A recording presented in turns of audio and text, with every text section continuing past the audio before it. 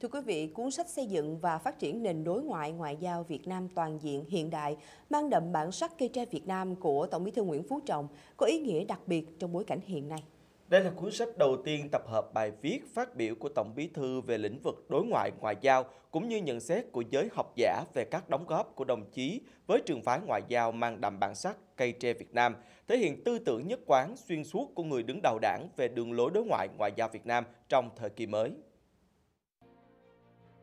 Cuốn sách gồm 3 phần, khẳng định vai trò quan trọng và đóng góp to lớn của công tác đối ngoại trong sự nghiệp xây dựng và bảo vệ Tổ quốc, sự phối hợp chặt chẽ, nhịp nhàng giữa các trụ cột đối ngoại là đối ngoại đảng, ngoại giao nhà nước và đối ngoại nhân dân, minh chứng sinh động bằng những dấu ấn đối ngoại, ngoại giao dưới góc nhìn của các chuyên gia, nhà chính trị, nhà ngoại giao, nhà nghiên cứu, bạn bè quốc tế về đường lối ngoại giao mang đậm bản sắc cây tre Việt Nam thì có thể khẳng định là cuốn sách đã nêu bật được cái bản sắc và giá trị cốt lõi xuyên suốt trong tư duy và đường lối đối ngoại của Đảng ta mà đứng đầu là đồng chí Tổng Bí thư. À, đó là nhất quán đường lối đối ngoại độc lập, tự chủ, hòa bình, hữu nghị, hợp tác và phát triển, đa phương hóa, đa dạng hóa quan hệ đối ngoại vì lợi ích quốc gia dân tộc. Cái cuốn sách này đã rút ra được rất nhiều những cái nhận định, những cái khái quát, những cái đánh giá, những cái bài học rất quan trọng. Một đó là cái gì? Bất biến ứng vận biến. Cái đó nó có từ thời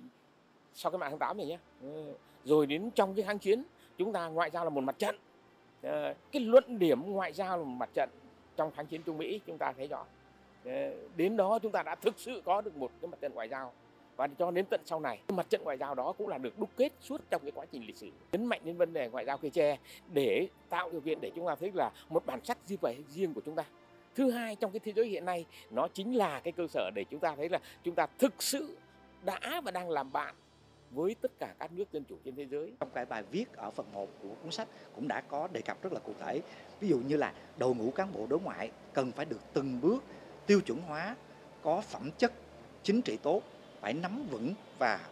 vận dụng nhường nhuyễn cái đường lối đối ngoại của Việt Nam của Đảng. Rồi có trình độ chuyên môn nghiệp vụ ngoại ngữ thành phố Hồ Chí Minh cũng vận dụng rất là sáng tạo rất là linh hoạt những cái đường lối chủ trương à, chính sách à, cũng như là cái cái quản lý thống nhất về hoạt động đối ngoại thì chúng ta cũng rất là đa dạng. À, các cái đối tác à, ví dụ như thành phố Hồ Chí Minh hiện nay là có 58 à, địa phương à, có quan hệ hợp tác hữu nghị với thành phố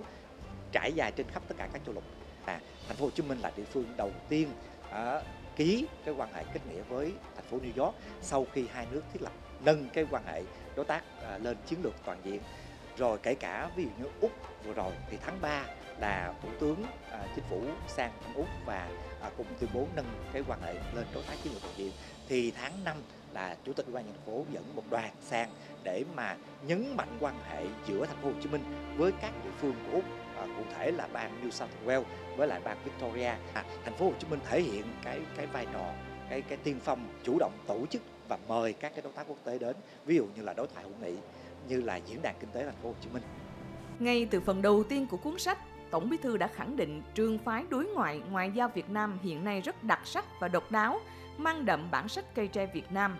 gốc vững, thân chắc, canh uyển chuyển. Đường lối đó đã giúp tạo lối và mở đường, từ một nước bị bao vây cấm vận, nay đã mở rộng và làm sâu sắc quan hệ với 193 nước và vùng lãnh thổ. Tổng Bí thư nhấn mạnh trước những biến chuyển lớn của thời đại, đối ngoại ngoại giao Việt Nam càng phải thể hiện rõ bản sắc cây tre Việt Nam để giữ vững môi trường hòa bình, ổn định, bảo đảm chủ quyền thống nhất, toàn vẹn lãnh thổ của Tổ quốc.